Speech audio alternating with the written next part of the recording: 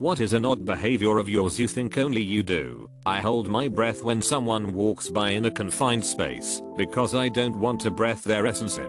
IDK. I rub my feet together in a circular motion when I'm in bed and getting ready to sleep. My boyfriend calls it cricketing.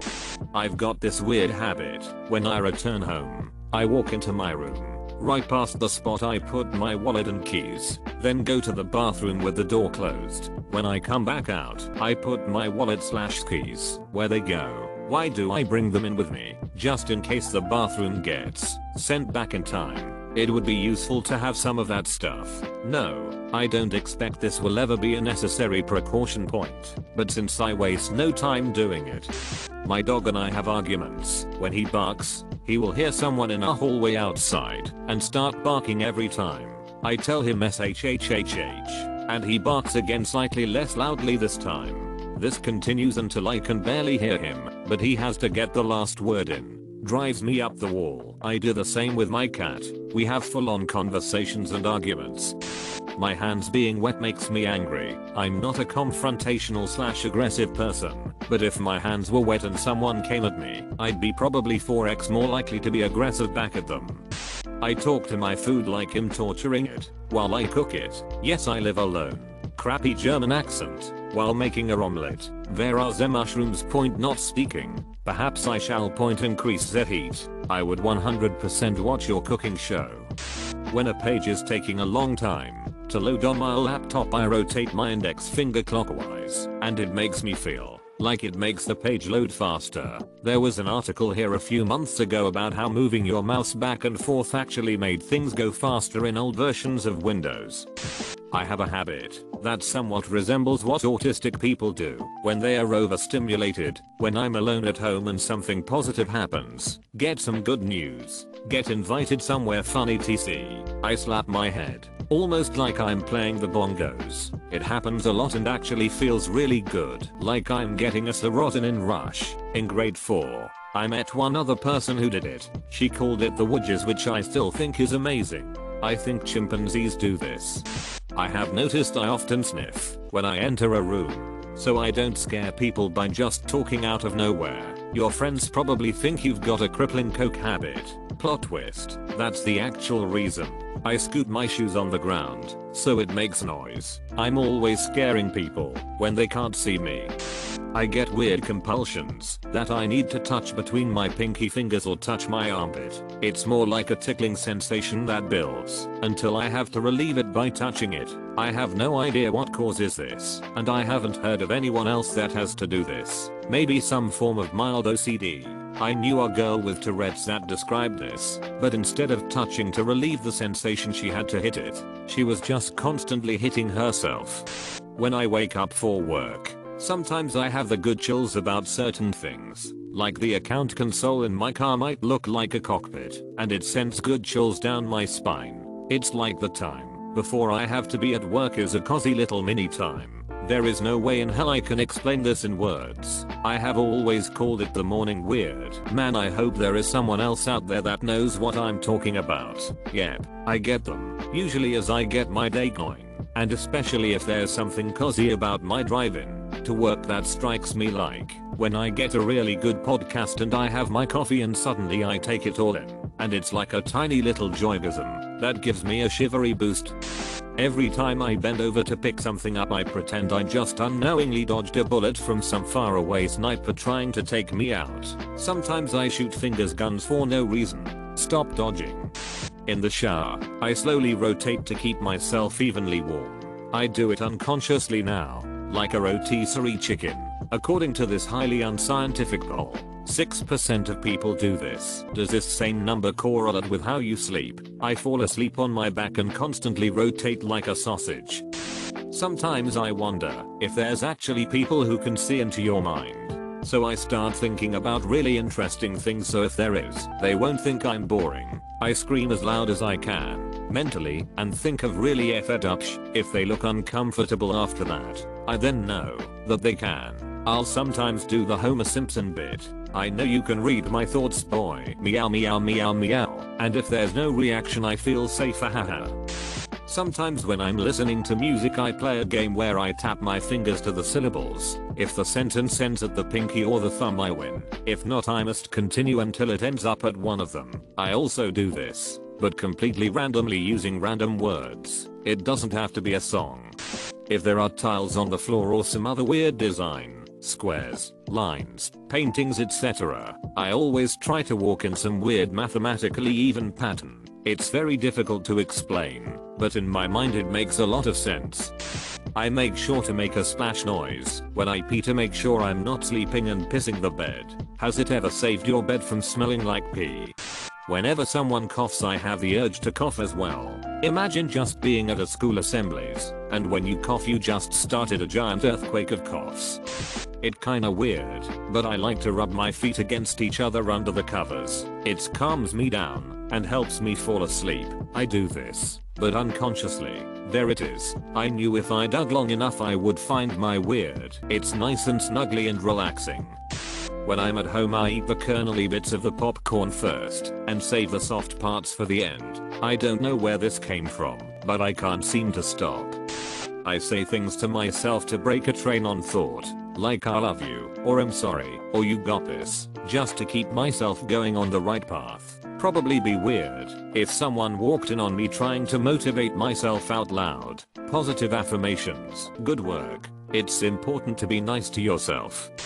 Can say in all honesty, I adopted the Monk Touch Monk the old TV series about the unique detective, whereby I'll touch every pole or stop sign I pass, even if just for a second. Don't know when it started, but it's become almost subconscious autonomy at this point over many years and odd looks as to why. I have no idea, something about touching something physical that's permanent and serving a purpose I guess. Well guess I'm not so odd after all. D hello fellow tappers, I do this when I'm drunk. My dad drilled into me from a very young age that when you're on a boat you should always have three points of contact with whatever environment you're moving on. So both feet and at least one hand. Now that kicks in, whenever I feel unstable, including when I've had one too many drinks, makes me look like I'm Loki trying to Tarzan my way across the living room.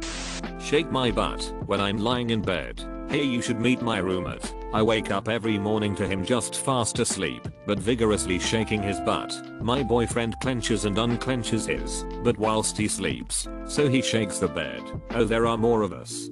Using random number generator apps to dictate how I set my daily to-do lists. When I can't decide between two things I assign the random numbers, like 68 and 14, or call them left and right, and have someone pick one over the other. Whatever they choose I go for that thing. When I'm alone I use an RNG or coin instead, so not exactly, but same idea I suppose. I also do this but if I find myself disappointed in the outcome, then I do the opposite. It's more like uncovering my true desire than truly randomizing. Talking to myself in gibberish when I'm doing something, as though I were explaining what I'm doing. I imagined a guy doing the dishes and talking like someone from The Sims. Laughed my A off. Sul I tap my top and bottom teeth side to side to make rhythms, but both sides have to be evenly tapped. And, when I think of, or hear, a particular word, I'll rearrange the letters, so they go consonant, vowel, consonant, vowel, etc. and add letters in, when they don't fit the pattern. Double letters get scratched, so say the word pattern, it becomes pairing because it's following the rule, and removing doubles. Sometimes I'll stretch it out to incorporate every vowel and Y. So in that case, pattern would become perinacusally. No reason why, but I do it constantly and haven't been able to switch if off for 15 years or more. It took me a very long time to realize what I was doing and even longer to be able to put it into words. When at the library or bookstore, I sometime open a book I know I will read at some point, but not right now and read a random line at a random page. Then, maybe years later I will read the book, and when I get to that line, that I have forgotten all about, and get the most powerful feeling of deja vu, I will remember what the world felt like, smelt like, the sensations and feelings I had while reading that line. It's like like little gifts of memories to future me floating around in various books. That's beautiful. As someone who gets a lot of deja vu, I want to try this. Sometimes when I get bored, I explain modern things to Benjamin Franklin, music I listen to, or how my phone works, etc. Sometimes I go even further back and explain it to Socrates or a caveman. Sometimes it's philosophical. Sometimes it's just stupid. I don't know why I do it, but it's very entertaining. I used to do something like that on car trips. Only I'd pick a time period and imagine what a philosopher, monk or otherwise educated person from that era would be able to figure out about what I was seeing.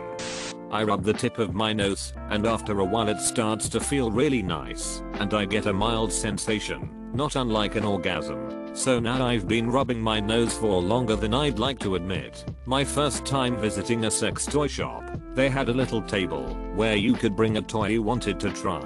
The employee would put batteries in it and have you try the settings against your nose. Apparently if it's too strong for your nose, it's too strong for your genitals. Yeah. But how do you fit it in your nostrils in the first place? Okay, so this is actually the most hilarious answer so far. Yeah. And I also wonder how many people have just tried this themselves. Besides me, of course. My alarm is set to 7am. I can't remember when I last had it go off because I wake up at around 6.15 and spend some time on my phone before unsetting my alarm and getting in the shower before 7am. My alarm is set to 7am. I can't remember when I last had it go off because I wake up at around 7.30 in the afternoon. How does this feel to have your life so together? Well, I do have a bowl in my living room filled with lemons and limes. Sometimes I spell a word in my head over and over until it seems like nonsense. It's called semantic satiation.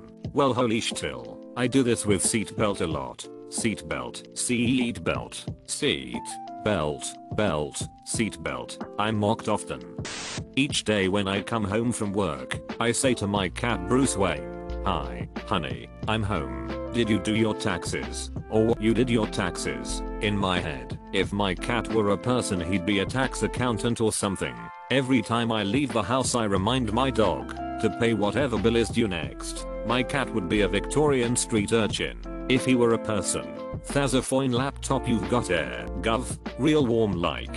Mind if I sit myself down? Knew you wouldn't object. A true gentleman you are. When I leave the house I tell my cat to make good life choices. For the record, he does not. Also, I love the fact that your cat is named Bruce Wayne, and yet you think he'd be an accountant. When I'm watching a movie or TV series and something bad happens to a character I really like I can't handle him being sad or distraught, so I stop watching it. It's a real problem I have to force myself to continue. Because if I wouldn't I wouldn't watch anything until the end. It's been like this since I was a kid. Oh yeah I get this real bad. I will fast forward through parts, read wiki summaries, so I can satisfy my curiosity, or just stop watching. I blow on my ice cream to cool it off. I'm not really sure. I wasn't even aware I was doing something weird until my GF noticed and said, you know that's not hot right. By doing this, you're warming it up. Brain, I got this. Food very temperature. I'll learn from soup. I make weird noises and gestures when I think no one else is home. Do you also check if there are no webcam after a while when it's too weird in my own home? With my wife never having mentioned wanting one ever. Yes I still go if someone's watching aren't they? I walk fast. When it's a crowded place, I use hand gestures whenever another person gets in my way to tell them where I will go. Like I point to the left and they automatically move to the right without any awkwardness. It works more often than I expected. People tend to follow such unexpected gestures unconsciously. Fellow fast walker, when I walk down a crowded street, I pretend as though I'm returning a kick in American football scanning ahead for creases, sidestepping into space, using people walking ahead of me to set up blocks. I might need to start adding touchdown celebrations at the end of the street. Growing up in New York City I used to pretend I was Luke Skywalker on a speeder bike and I'd sidestep and juke down a crowded sidewalk pretending it was the Forest Moon Endor while walking to school almost every morning. This old guy sitting on a stoop once called me Walter Payton and I asked if he was a GD. Humans need blinker lights. Hopefully they add in V2. A nobody would use them. Seems rather efficient TBH. I do the same. Realized it's super effective after years of restaurant work. Also, I'm not checking out your A, I'm looking at your hips, because that's the first thing to move when you're changing direction. I give objects itches after I scratch it for them, because they look itchy. I like that. I hear noises in multiples of 8. Not that I hear any sound 8 times, but if there's a noise that repeats a bunch of times, I hear it in my head again and count it, using 8s. Are you a musician? Being stuck in 4 over 4 times so often. It would make sense. Wow, you guys. I never thought of it as being 4 over 4 time, but it probably is. Now I feel dumb. Lol. I did used to write music, and I have years of piano and voice training. So yeah. Huh. I make a valley out of pillows and blankets and sleep in the middle, so I can koala hug something while laying on either side. I call it building a nest, but say my dear, it's the most amazing way to sleep. I miss my nest when I travel. I need a heavy pillow at the foot of my bed every time I travel to simulate the 15 pound cat that's usually there. Habit that I've had since childhood. I play with my ears, especially when they're cold. I fold them and scrunch them and can fit them into the ear canal until they unfold and pop back into form. Finally one that I can relate to. I'll occasionally reread sections of a book where nothing much happens, but the characters are just chilling. It's almost like visiting friends. One of my favorite parts in all of the Harry Potter series is when Harry gets two weeks alone in Diagon Alley in Prisoner. Nothing happens. Just wish I could experience that myself. That's my major complaint about especially the later books. I just love the wizarding world and want to have more slice of life in it. Just descriptions of the shops, the classes and breaks at Hogwarts, the interactions between full family wizards and muggleborns etc. In the later books it's all just drama and I just want peace.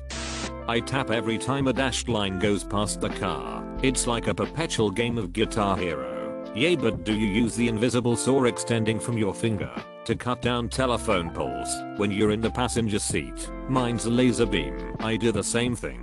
I always thought it was a Tourette's thing, but either it's not, or all you guys should see a neurologist. I've been playing an infinite scroll version of Super Mario Bros. in my head whenever I'm a passenger in a car or train. Since 1986, I have Mario jumping over or on top of all the obstacles that I pass. Sometimes at stoplights I have Mario hop from car to car when the line of cars is flowing in front of me even as a driver. I don't think I've ever told this to anyone. No way. So do I.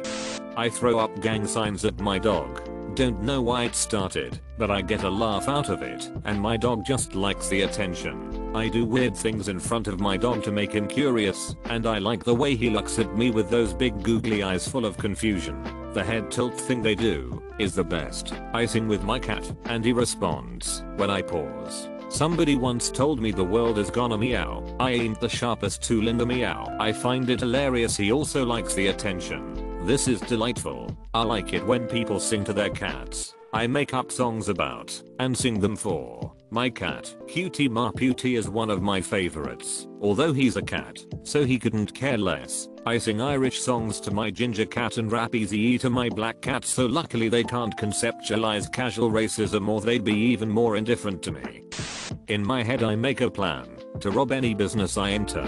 I make note of security, cameras, employees. I think about what part of town I'm in and try to estimate what the police response time would be and possible escape routes, and so on. I'd never do it of course. It's just a mental exercise. I made the mistake of telling my wife about it, and now when we go out she notices and tracks my eyes and says stop that. You're so weird. Lol. I'm gonna steal this one. Have a plan first. If I accidentally hit my head or something, when I was little I'd pretend to be knocked out for at least 10 minutes on the floor, and then slowly get up, when I'd realize nobody was going to indulge my dramatic A. Drama queen. Show me the money. After I stopped chewing on my nails I needed a new thing for when I'm nervous, preferably something discreet, so I started pressing my nails into the side of my knuckles and then kind of pressing the hurting spot. Somehow this pain feels extremely relaxing for me. Also it helps me think. When I can't concentrate, I've moved to biting the skin around my fingers. It's kind of the same thing. It hurts but like a good hurt. That turned into full-blown dermatophagia for me. Every knuckle and the skin doing down my index finger were completely torn apart. My hands looked horrifying. Thankfully a few years back I forced myself to stop and heal. Constantly, realistically I do this hourly, relive specific moments from my past. I can imagine a conversation that I had 8 years ago and react physically in the present by saying the words I would have said then or move my body in the same way as I do in the memory. I have to blink an even number of times and most the time that's not enough. I have to stop what I'm doing to keep on blinking until my mind is pleased with the right amount of even times I've blinked. Sounds like hell. There are times I wanna freak the F out because I just wanna stop, but never do. This sounds like OCD. Done this as a kid, and it was very hard to get rid of that habit. Swallowing an even number of times, stepping an even number of times, chewing an even number of times. Realized I must have had unresolved anxiety slash OCD as a kid. Fought with myself one day to break the habit, and was successful thankfully. Guess it was my way of trying to have some control over my life. Growing up poor sucks. When doing something I don't do often, or for the first time I tend to explain it, as if I'm making a guide for others. I find it a nice way to catch a mistake before it happens. Just before I'm about to write, sometimes I'll do this little circle thing in the air above the paper, like I'm revving the pen up. Before I use it, I'm here to say, F yeah I'm not the only one. Same dude. You first. I count the toilet paper squares, ensuring there's exactly 4 or 8 before I tear it off to wipe. I usually tear 3. I guess this means we are enemies now. I spin in circles and think about things, but like, as an activity, I've spent an hour plus just spinning and thinking about things that don't matter on multiple occasions. You will never find on my alarm clock time like 6.40 or 7.15. It will always be something like 6.38 or 7.14. I don't know why. Same for me haha. I think the 7.13 feels better than the 7.15. Because when the alarm goes off I have a reason to lay down a little longer because I'll tell myself 7.15 I must get out. In elementary school, they explained to us what right angles were and asked us to find some around the room. Fast FWD to 23 years later, I still do that all the time I'll look for parallel lines and right angles in the axis of different shapes, and when I'm sitting somewhere, I look for ways to tilt or turn my head so that things seem symmetrical and form right angles from my point of view. Sometimes I take a huge intake of breath, as if I've been stuck underwater for longer than I'm comfortable, and can finally breathe again. It scares the crap out of my friends as I'm usually quiet for several minutes, and then suddenly I'm practically screaming. I just tell people that I forgot to breathe. I rarely realize I've done it too, it just happens. I also randomly do one hiccup, sometimes mid-sentence and I'll continue my statement without letting the hiccup distract me. I also do the breath thing, makes me feel alive. When I'm extra sleepy and laying in bed, I'll just raise one of my arms completely straight up and let my hand go limp. I'll hold this position for a while and I usually go to sleep soon after hahaha. When reading a book I sometimes stop paying attention, but I keep reading. My eyes continue reading without me realizing what's going on. Sometimes I have to reread entire chapters because I forgot to pay attention. I have conversations with myself out loud, and I stare intently at one spot when I'm thinking. I also talk with inanimate objects, and I catch myself cocking my head to the side like a dog when I'm confused. Of note, they don't talk back to me. I just have one-sided conversations with the objects. Kind of like how Archer talks to Krieger in Krieger's first few appearances, before they found a voice actor for him. I have conversations with myself out loud. A boss once told me this is a sign of a healthy mind. I do it a lot and always assume the opposite. I pretend I'm giving birth, breathing, while I poop, especially if slightly constipated, because I convince myself, if it helps push a baby out then it should for poops, I'm male. I have hyperhidrosis, fancy word for sweating a lot, and my t-shirts are constantly sticking to my armpits. To you and stick them, I just lift my elbows up and down a time or three. Basically, I flap my arms like a chicken, most of the time. I don't even realize I'm doing it. Imagine having a conversation with someone you have never met and they randomly start flapping like a chicken out of the blue and act like nothing just happened with no explanation. MF and dying at this image. I love it. It's poultry in motion. Have you tried sticking sanitary pads to the armpits to absorb the sweat? I've seen this advice posted before, and I have to wonder, does anyone actually do this on the regular? It seems incredibly uncomfortable, plus it'd make diaper sounds when you move your arms. I spank everything. Got a package. Spank it. Empty table. Spank that steering wheel of my car. Like love taps. Notebook. Spanked. Bag of rice. Oh yes I'd spank that. There isn't an object I haven't tapped, spanked, or touched. I also think out loud. When my girlfriend gets home, I often pretend to be dead. She then feigns shock and horror until I ultimately succumb to a fit of laughter. I try and be as inventive as possible with positioning and stuff, and I'm well aware that I could become the man who cried wolf one day, just mix it up with other pranks. True moral of that story is that you should never tell the same lie twice. After all, tell me, Garak, are you really just a simple tailor, or is that another one of your lies? When I listen to music I always imagine myself performing it live for a crowd. Sometimes I'll listen to songs on repeat until I've envisioned every part of my imaginary performance. Sometimes I'm just singing, other times I'm playing like guitar or keyboard as well. Note that I have no actual musical experience whatsoever. Every time I shift into neutral, I wiggle the stick back and forth a bit as a sanity check. I thought it was normal for standard drivers to do that.